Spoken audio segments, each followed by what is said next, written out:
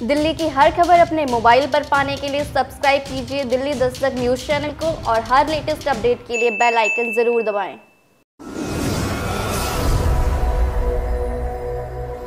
उत्तर पूर्वी दिल्ली में निर्मम हत्या की खबर सामने आने से इलाके में सनसनी फैल गई है मामला थाना खजुरी इलाके के सोनिया विहार डी ब्लॉक का है, जहाँ 50 साल के विजेंद्र कुमार की चाकू गोद कर हत्या कर दी गई। बताया जा रहा है कि मृतक विजेंद्र कुमार ने अपने बड़े भाई की बेटी को गोद ले रखा था, जिसका पड़ोस में रहने वाले सूरज के साथ प्रेम प्रसंग चल रहा था मृतक के परिजनों का आरोप है कि इस प्रेम प्रसंग का विरोध करने पर लड़का लगातार विजेंद्र को जान से मारने की धमकी दे रहा था। मृतक की पत्नी के अनुसार सुबह जब वो मंदिर से वापस आई तो वही लड़का वॉश बेसिन में हाथ धो रहा था। जब उन्होंने पूछने की कोशिश की तो वह उन्हें धक्का देकर मौके से फरार हो गया। मृतक की पत्नी ने अंदर जाकर देखा तो विजेंद्र खून से लथपथ था और मौके पर ही मौत हो चुकी थी। सवेरे गई थी मंदिर अच्छा वाला छोड़ के गई थी, इनके सोते लेटे हुए मैं से क्या लगे, चाय बना दे। मैंने चाय पिला दी उनको। मैंने की मैं मंदिर जा रही हूँ। मैं तुम्हारे आके रास्ता वास्ता खिला दूँगी। मंदिर गई। मंदिर से जब तक आई, जब तक तो वो लड़का हाथ धो लिया था। हाथ धोते धोते जैसे मैं गई, मैंने क्या करने आया है? तू क्या कर रहा है? मैं इनको देख लगी मैं अंदर को घुसी मैंने ये काय के नहीं बुलाया था कौन कौन था ये? मैं कहती हुई अंदर चली गई वो मेरे पीछे भागा पीछे से भाग गया। मैंने जब देखा मैंने ये पड़े हुए इनको क्या हुआ? मैं जब हिलाया जलाया मैंने क्या? अरे मेरा आदमी को मार गया मेरा आदमी को मार गया मैं उसके पीछे पीछे भागती लड़का कौन था? आप उसे जानती थी पहले से? सूरज जान गए लड़की में लड़की थी यहाँ पे रहती थी। अच्छा।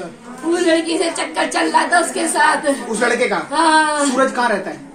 चार नंबर गली में। पास में रहता है। पास में ही रहता है। लड़की अपनी डिगन की गोद ली हुई थी? गोद ली हुई थी। अच्छा, गोद भी नहीं ली थी बस ऐसी रह रही थी पल्ली थी मेरे जेठ की लड़की थी। हाँ।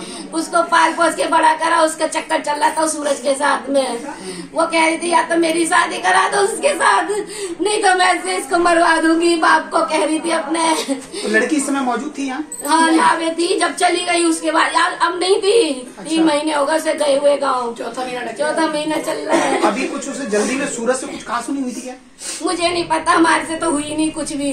बस यही कहा था कि अगर तू हमारे टंक में टांग बढ़ाएगा तो पहले तो ये जान से मारूँगा। आपके पति को बोला? हाँ। ये कह रहा मैंने कि तू क्या मारेगा? जैसे कोई मार देता कोई जब आप अंदर आई तो सूरज के हाथ में कुछ देखा आपने चक्कू था उसका हाथ धो रिया था। आपके घर में हाथ धो रहा था हाथ धो रहा था बस। हाँ हाथ धोता हुआ देखा था मैंने उसे। मैंने कि तू क्या करने आया? अरे मैंने कुछ ध्यान नहीं दिया मेरा। मेरा कुछ नहीं दिखाई दे बस जाते अंदर कोई देख के मैं अंधी हो गई मुझे कुछ नहीं दिखाई दे रहा। मैं उसके पीछे पीछे भागी। मैंने ये अरे मेरे आदमी को मार गया मेरे आदमी को मार गया। फिर मैं वापिस आ गई अपने घर में। अरे मेरे आदमी को मार गया अब उसके बाद कुछ नहीं। सतीश क्या जानकारी मिली आपको? इधर देखेगा हमारे रिश्तेदार हैं हमें ये पता चला था कि इसको किसी ने कत्ल कर दिया है। ये ए, कितने बजे आपको जानकारी मिली थी? ये मुझे मिली थी नौ बजे। हाँ क्या नाम था इनका? पप्पू जी कहते थे। पप्पू कहते थे। अच्छा। क्या फिर आपको क्या कैसे जानकारी मिली थी? बच्चों ने फ़ोन किया था मैं काम पर था। उनका कत्ल हो गया। कि ऐसे ऐसे बात हो गई है।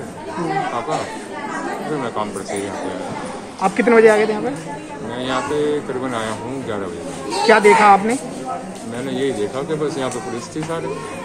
अच्छा। और अंदर किसी को जाने नहीं दिया जरा डेड बॉडी आपने देखी? अंदर जाने नहीं दिया किसी को।